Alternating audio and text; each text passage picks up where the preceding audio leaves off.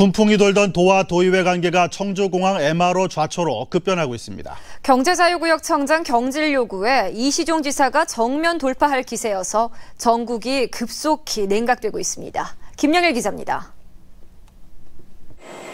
아시아나 항공의 포기 선언으로 사실상 백지화된 청주공항 MRO 항공정비 사업.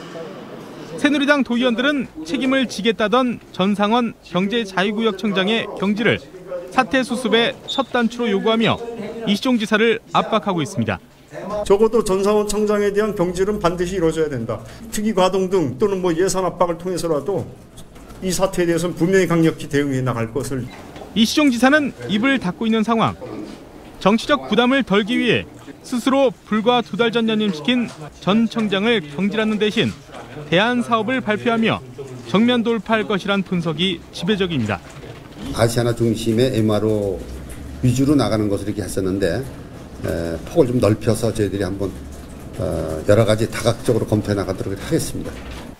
이 지사가 전 청장의 경질을 거부하면 잔뜩 벼르고 있는 새누리당 도의원들과의 관계는 급속히 냉각됩니다.